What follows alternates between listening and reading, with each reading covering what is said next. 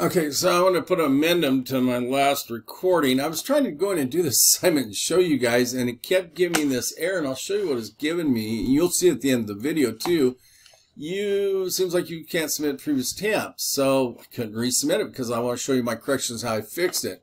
So I figured out what's going on here is I have this assignment open up here in a tab, but I'm going here is going in here, you know, to a new tab and trying to restart that assignment. And because I already had it open over here in another tab, it would not let me restart the assignment. So anyway, let me go in here and show you what it is on the end of this project. I went in and I fixed it all. And you can watch this video and I go through the steps and you see I'm getting this, this error message that keeps coming up here. And it's because the stupid thing, I got to shut it clear down and go clear back out of this. So you can't even be into it. In fact, I had to go clear out, exit out, and make sure I had everything shut down and then go back into that assignment to open it back up. So if that happens to you, and also make sure you go clear through the end of my video where I export my database, and I'll just show you that really fast here.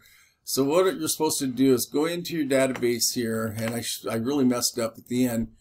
Go to this 110, and this for the Access Chapter 2 report here.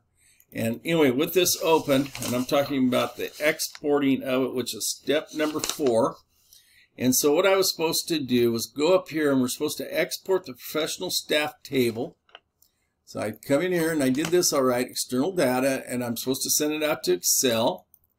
And when I go in here, you browse, you don't change any of this. So you leave it professional staff. You're supposed to put it, though, in the same place where my database was.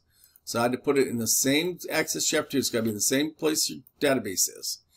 Then when you go in here, it says uh, layout to the same folder which your database. Save the export steps. When you go OK next, it's going to tell you, I already had it there, so I'm saying that, but you have to save, save.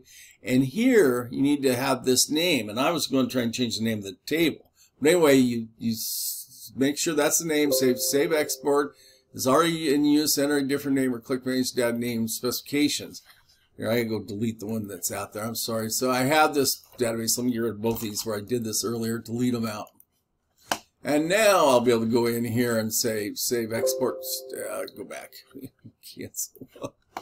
Try it one more time. Go in here. Just make sure you put in the right folder where your homework is, where your database is. You save it there. You export the deal. Anyway, save the export steps. Save it as that name save export steps, say okay, and then it'll work. And then you can submit it for a grade, and you'll see how my deal. So I wanted to post that before the video. And you'll see I really screwed that one up.